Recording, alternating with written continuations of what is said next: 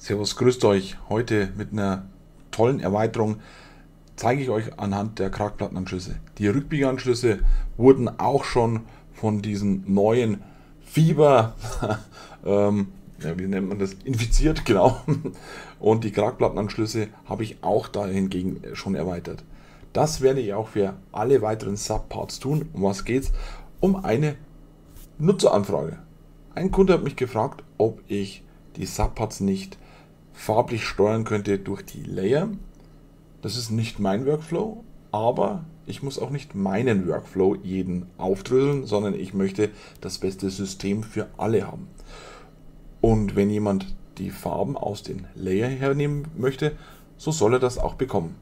Bei den Kragblattenanschlüssen hat mir das jetzt sehr viel Zeit gekostet. Ich habe keinen Aufpreis von irgendeinem Hersteller bekommen. Das ist wirklich etwas, das ich auf meine Kappe nehme und jetzt nachjustiere damit ihr damit noch besser und noch fröhlicher damit arbeiten könnt. Und ich glaube, beim Krackplattenanschluss, da habe ich wirklich tolle Features eingebaut und man wird sehen, wie viel Arbeit da drin steckt jetzt mit, diesen, mit dieser Erweiterung. Also wir haben hier ein paar Kraftplattenanschlüsse abgesetzt. Die sieht man auch hier in 3D, wenn man Bölle auf, auf ich denke mal, dass es entweder österreicherisch ist oder bayerisch, Bölle, also der Kopf im Weg ist. Hm, hm, hm. Weiß wirklich, kann ich mich ausschalten, oder? Ja, dann bin ich halt jetzt nur noch ein Geist. Aber wenn es dem Video dient, passt das. So, jetzt haben wir hier verschiedene Eco-Boxen, aber außer, außer die Eco-Box 1, die wurde zweimal verlegt und dann geht es hier so weiter und man sieht schon farblich einen Unterschied. Diese Farbzuweisungen, die gab es vorher schon, allerdings hier von der Eco-Box 1 gibt es hier zwei Stück. Da habe ich einmal die alt, ältere Version, die 1.14 verlegt, also die Version 2414 hier zu sehen an der Kopfzeile oder auch im Karteireiter hier. Und wenn man sich jetzt das Ganze hier so anschaut, wie weitere Subparts mit dem Button und auch dem Premium-Partner-Bereich oder bei den Einstellungen, dann sieht das jetzt nicht so aufgeräumt aus, wie wenn ich jetzt hier reingehe. Na, wir machen gleich einen neuen. Wie wenn ich jetzt hier reingehe und den Krackplattenanschluss hier der Button ist jetzt viel kleiner überall und hier ist auch der Premium-Partner-Bereich etwas schöner angeordnet, sage ich jetzt einfach mal. bei den Einstellungen ist jetzt folgendes passiert. Wir haben einmal Separatoren in der 3D-Folie, also hier, wie ich es jetzt begrenze mit meiner Maus.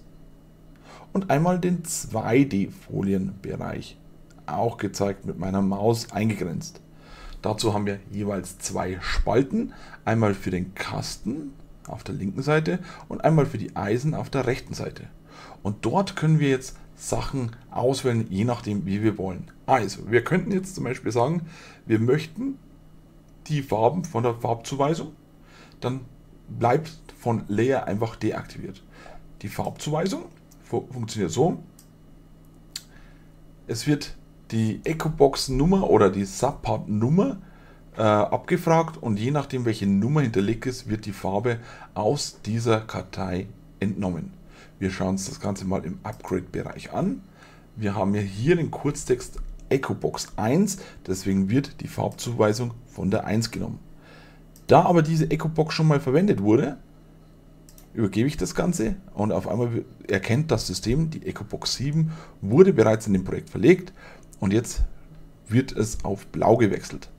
Wir schauen in der Farbzuweisung. Wo ist denn die blau? Aha, hier ist die 6.7 enthalten. 6.7, also dieses hellblau oder türkis, wie man es auch nennen mag, oder teal. Das ist jetzt unsere Farbe, die automatisch zugeordnet wurde. Ja, genau. Also hier sieht man automatisch zugeordnet. Wenn ich das Ganze schließe, sehen wir es auch in unserer 2D-Welt. Das Tolle ist jetzt auch, dass die Begrenzungslinien eine eigene ja, Linienform haben und Farbe. Das heißt, wir können das Ganze jetzt auch noch hier entgegen anpassen, dass wir sagen, okay, wir brauchen eine andere Stiftstärke. Machen wir mal 1,0, machen wir mal ganz krass. Und ich habe jetzt hier die 7 selber auf 0,01 eingestellt, denn das könnt ihr selber mich verändern. Das wusste ich am Anfang gar nicht. Die ist nämlich standardmäßig auf 0,13. Der Kunde hat gesagt, warum nimmst du immer die 7? Bei uns ist das, keine Ahnung, 20 mm oder so. Und dann habe ich gesagt, oh, das ist aber blöd. da müssen wir dann was dran ändern. Also von dem her habe ich das jetzt euch zur freien Wahl gelassen. Nehmen wir jetzt hier mal die 025 und schließe das Ganze. Und es wird natürlich erst sichtbar, wenn wir die Bildschirmdarstellung auf dicke Linie hier aktivieren und einmal mit OK bestätigen. Und jetzt sehen wir den Unterschied. Oh ja, da ist natürlich an der Linie jetzt etwas geändert. Maßstab 1 zu 50, dann sehen wir ein bisschen mehr. Ich reaktiviere das Ganze, stelle jetzt nochmal hier um auf 0,25 und einmal hier auf die 1, einfach just for fun. Okay. Das Ganze können wir natürlich jetzt auch wieder Layer steuern, dass wir sagen, okay, wir wollen die Striche von den Layern. Und hier wird der, die Nummer von RUR genommen und hier ein Bauteil Sonder. Würde ich jetzt zum Beispiel hier ändern auf, ja, hier BP-Text vielleicht, genau, und dann wird hier auch der Strich geändert. Okay, ich setze aber das wieder um auf Rundstall rund. genau. Und ja, jetzt möchte ich zum Beispiel die gleiche Farbe wie hier haben. Gehe ich mal hier kurz rein. Wenn wir den Text hier nicht haben, dann können wir uns den Langtext einfach hier in die Schnelleingabe ausgeben lassen. Den markieren wir uns, kopieren uns, schließen das Ganze, gehen hier mit dem Doppelklick rein, einmal einfügen, Doppelklick, übernehmen und hier wird die 1 angenommen. Und jetzt haben wir die Rot genauso. Und es schaut schon optisch viel stärker aus als hier, oder? Das müsst ihr zugeben. Es ist brutal. Und das können wir natürlich jetzt auch jederzeit ändern. Wir können jetzt auch die Farben automatisch vom Layer übergeben. Hier der Rundstall bei mir in so ein lila, hellblau Ton. Wenn ich das jetzt Ganze schließe, dann haben wir hier auch im 3D unsere lila oder violette oder ich, halt Flieder, fliederfarbene Eisen. Natürlich kann ich das Ganze auch in Grundriss darstellen, wenn ich die 3D-Folie anzeigen lasse. Dann habe ich diese fliederfarbenen Eisen auch im Grundriss, stören mich aber eher. Genau, ich lasse das immer gern ausgeschalten. Aber somit können wir zum Beispiel immer von Layer übernehmen oder nicht. Also hier auch ein Grundriss, von Layer übernehmen und schon haben wir das Ganze. Das bleibt euch überlassen. Diese Funktion ist jetzt für euch verfügbar. Zusätzlich habe ich hier in der Sichtbarkeit hier ein bisschen aufgeräumt. Das war vorher ein bisschen unübersichtlicher. Und auch im Beschriftungsbereich habe ich alle Funktionen identisch wie bei, der, wie bei den Elastomerlagern aufgepeppt. Genau, es, man kann jetzt Größenanpassung nach Maßstab machen, man kann links anordnen, rechts anordnen, den Layer, die Textfüllfläche und die Rotation ebenso einstellen. Genau. Ja, das war es auch schon. Ich hoffe, ihr freut euch über dieses neue Feature. Ich finde es bombastisch und vor allem, wenn man das jetzt anschaut, wenn man jetzt hier was abblickt. Ja, genau, vielleicht zu den Farbzuweisungen. Entschuldigung, also das muss ich noch zeigen. Ihr liked in der Zeit das Video oder abonniert und aktiviert natürlich die Glocke. Hier könnt ihr zum Beispiel sagen, ich will aber weder dass jede Nummer eine eigene Farbe hat. Noch möchte ich haben, dass ähm, das von, von Layern übernommen wird.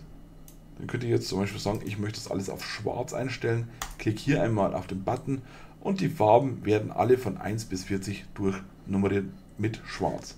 Jetzt könnte es natürlich auch noch sein, dass ihr sagt, ja, ich habe aber gar nicht die Nummer 1 in meinem System, sondern wir fangen damit der Nummer 100 an dann ist es auch in Ordnung, dann wird immer die Farbe 1 genommen. Das heißt, wenn ich jetzt hier wieder reingehe, Farbzuweisung und die Nummer 1 ändere, sagen wir hier in Magenta, schließe das Ganze, dann habt ihr hier die Magenta übernommen für die Farbzuweisung. Bei der Farbzuweisung, genau, ich stelle das alles wieder um und jetzt möchte ich aber nicht 40 Farben wieder neu durchkolorieren. Deswegen gehe ich hier auf Wiederherstellen und habe alle Farben wieder am richtigen Fleck. Und so finde ich ist das Arbeiten wieder schön. Ja, teilt es mit euren Kollegen. Lasst mir gerne einen Kommentar da, wie ihr das findet. Das würde mich sehr freuen. Und dann sehen wir uns beim nächsten Video wieder. Ciao, Servus, euer Peter. Servus, jetzt musst du liken, um dieses Video zu verbreiten. Allplan und BIM kriegen wir gemeinsam hin. Servus, ein Klick für dich. Ein Ritterschlag für mich, auch abonnieren und die Glocke aktivieren.